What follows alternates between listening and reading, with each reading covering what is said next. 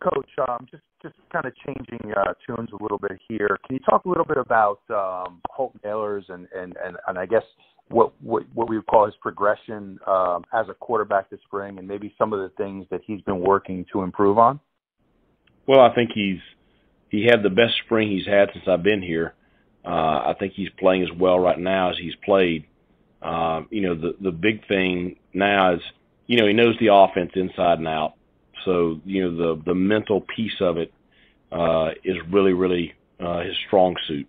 And you know, towards the end of the year, and certainly this coming year, you're going to see us put a lot on him at the line of scrimmage.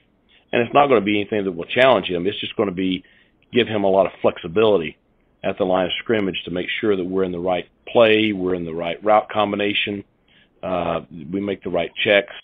Uh, you know, he has a firm command of the offense. Um, you know, physically, you know, he's trimmed down. He's down to about 220, which is the lightest he's been since I've been here. I thought he was moving with a lot of quickness and decisiveness, uh, you know, throughout the spring. Uh, I think he's throwing the ball with better velocity uh, and, a, and a little quicker release. He's tightened up his mechanics uh, on his throwing motion. So I think he's poised to really have a, a great senior year.